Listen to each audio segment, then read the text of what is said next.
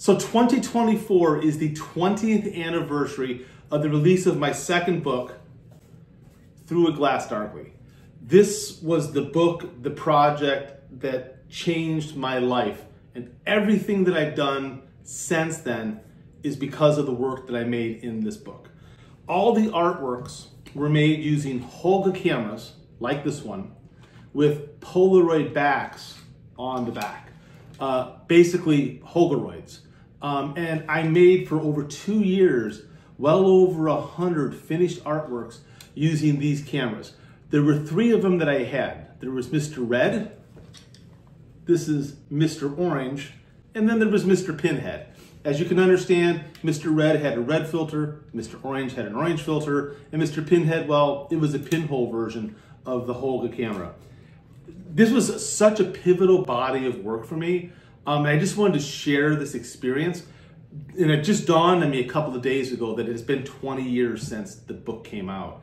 Um, prior to this body of work, all of the work that I've made was what I would consider more traditional uh, large format photography. I was writing for Photovision magazine. Our works was being featured in Camera Arts. You know, we were out there. We were very much in that very traditional vein.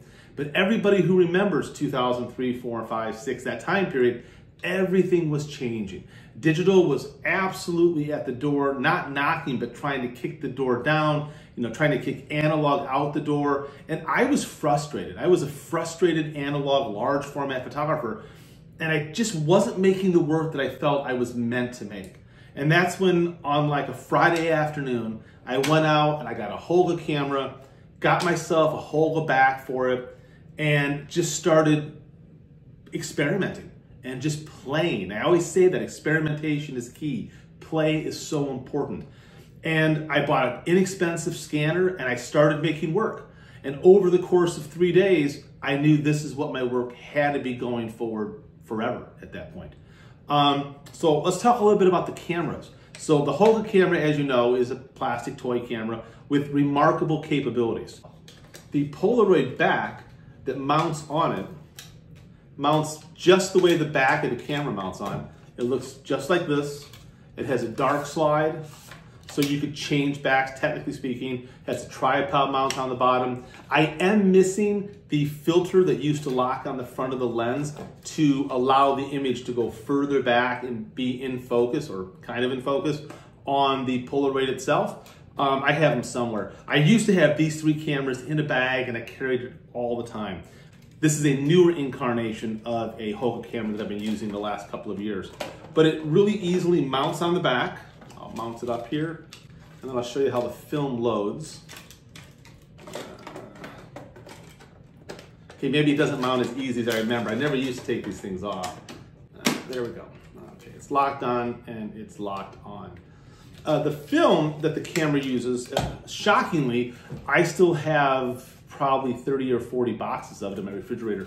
This was type 89. It's a square Polaroid format. Um, funny part is I only have color left over in my fridge when all the work in the book and all the work I made back then was in black and white. And what happened was is I suspect I got all of this Polaroid from Polaroid itself. Um, this entire body of work, all the artworks in the book, all 25 of them, were part of the Polaroid collections. Uh, when the book came out, this is one of the final images I'll show you. Was, they were framed in welded steel with Denglas. Uh, there was an exhibition of this work in Paris, in Vermont. The book is in French and in English uh, translations.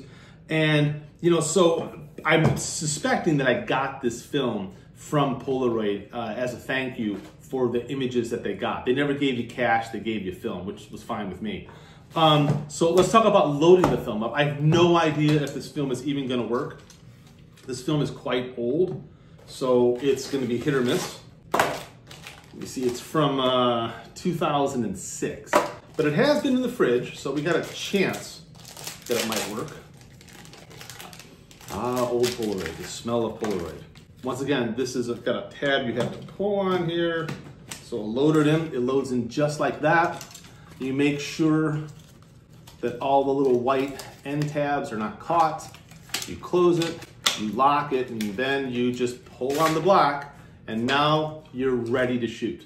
Um, so let's take a picture of the camera here while we're filming this. Let's see if this is gonna work. Here we go. I'm just gonna take something like this. Let's see. And this is peeled apart Polaroid film.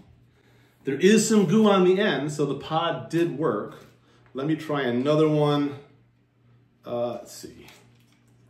Let pull this back out. This camera's been modified a lot to do a lot of different things. Let me put it on sunny.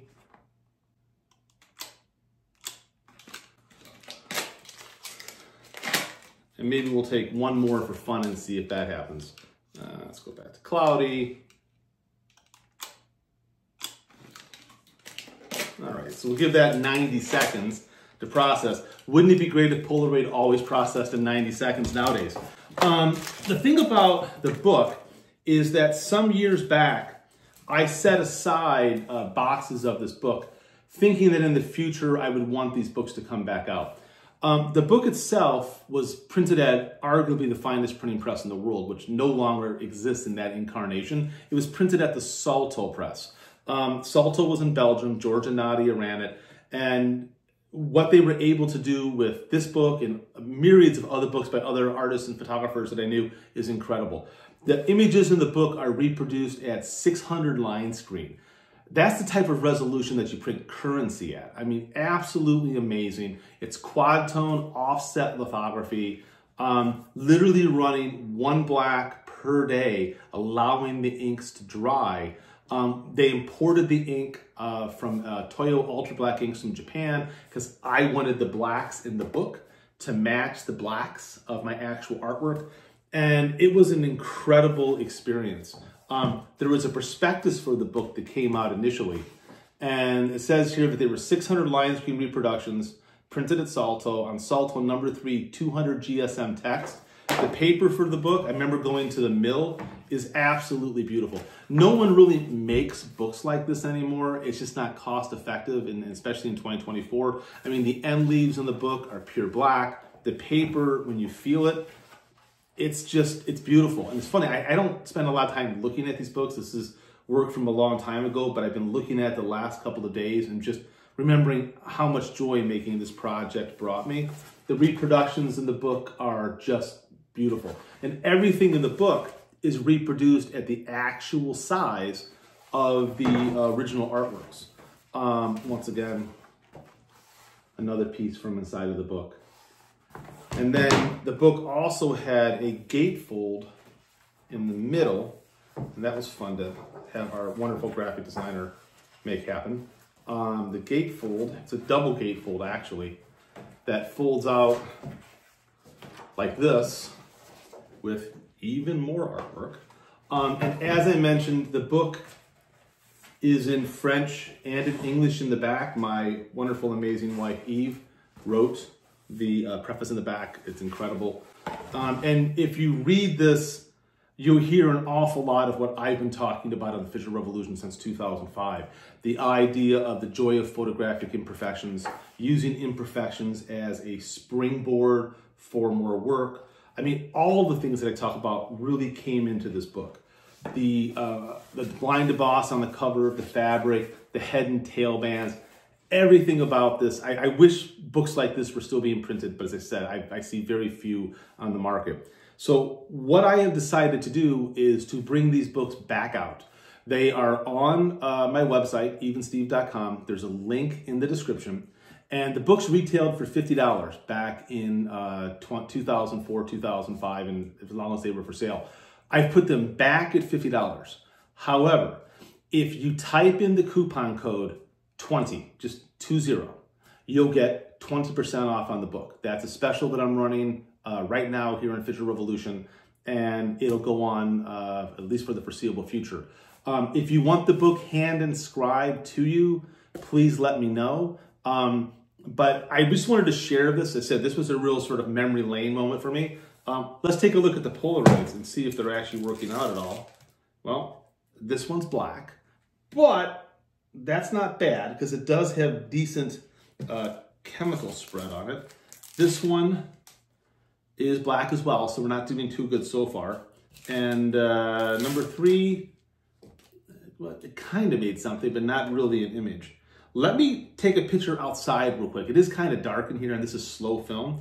Let me take a picture outside real quick. I'll be right back and we'll see if we can get that to work. I'd like to see the Polaroid camera work one more time.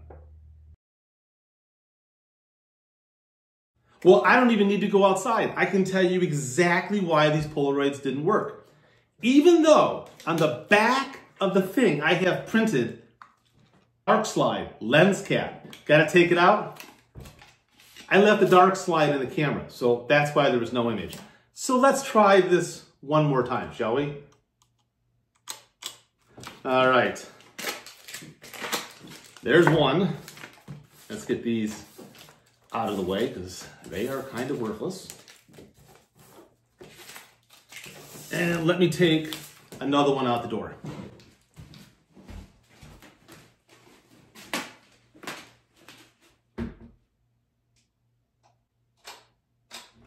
So I took three more out the door, one on the cloudy setting, one on the sunny setting, and then yet another one on the sunny setting. I can't believe that I forgot to take the dark slide out. Once again, even with my best label maker, you know, everybody makes mistakes from time to time. Um, I'm very excited to see them in 90 seconds if we have something here. What's interesting too is that you really can't use the viewfinder when you have this back on. You kind of just had to know what was going to be in the frame. But fortunately, because older Polaroid processed so fast, if it wasn't perfect, you could tweak it. I did a lot of shots with this, and they're in the book. And one in particular, I, I remember this story. Um, let me see if I can find it here. I was in Middletown Springs, Vermont, and it was uh, late one evening, like by late, I mean like 10 o'clock at night. And there was this group of trees that I wanted to photograph. This is them right here. There was this group of trees that I wanted to photograph. And I knew I was gonna need to use a handheld flash. So what I did is I had the camera on a tripod with a cable release and I pop a flash and then behind me, I hear a siren go off. There was a Vermont State Trooper sitting in the parking lot that I didn't know about. And of course, he wanted to know what the heck I was doing photographing these trees in the dark on this remote back road.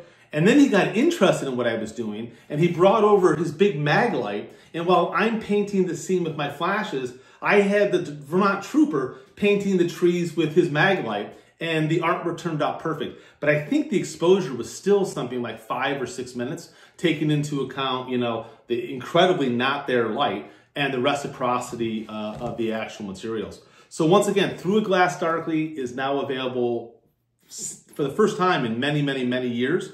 Um, and instead, if you want it signed to you, please just let me know in the description. Uh, let's see how these turned out. It worked. Oh my God. Yes. So this one's kind of dark. I'll do a little zoom over them in a minute, but it actually did work. That's kind of nice to see. Um, the next one worked actually shockingly well, uh, considering this is from 2006. You'll notice that there's a black frame around the image. So the square couldn't use the whole image. It only used a section of the image. And I felt that that was, yeah, and this is the one that I did for daylight. So the one that was the cloudy one is actually correct. And so I felt that that was kind of important sort of the, the purity of the process. So here in the prospectus, you can see I kept that same, you know, awkward sort of black frame. I felt that it added to, uh, to the actual physical process and to just the look and feel of the work. So I'll do a quick zoom over, talk about this just a little bit more. And uh, yeah, I can't believe they worked. All right, so I went outside and uh, shot one more of the Polaroids. It's been a long time since I've used peel apart material, um, and it's definitely satisfying when you see an image come out.